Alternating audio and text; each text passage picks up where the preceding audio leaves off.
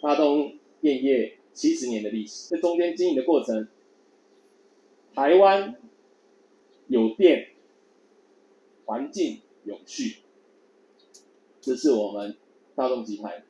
经营的理念。大概三点三兆瓦，哦，如果简单换成度数的话。它可以大概产生大概五十万左右的电力，相当于提供六百户到七百户的家户用电。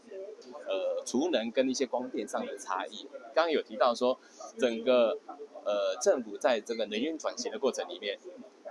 对于再生能源的利用，要弥补将来废核的电力缺口。那当它很用力的在发电的过程中，那这些呃未必是我们用电端的用户里面的使用的尖峰，所以这些过于的这些电能呢，就要储存在储能电。储能柜、储能电厂里面，哦，来作为一个呃消峰填谷的一个调节机制，哦，那还有什么差异呢？这些风电啊，不管是陆域、离岸风电，需要的场域都比较有局限性跟特殊性。光电更不用说了，光电需要的这个场地面积非常的大面积，跟储能是完全不一样的一个层次。一禅开工顺利，第二禅动土平安，第三禅一切圆得吉祥，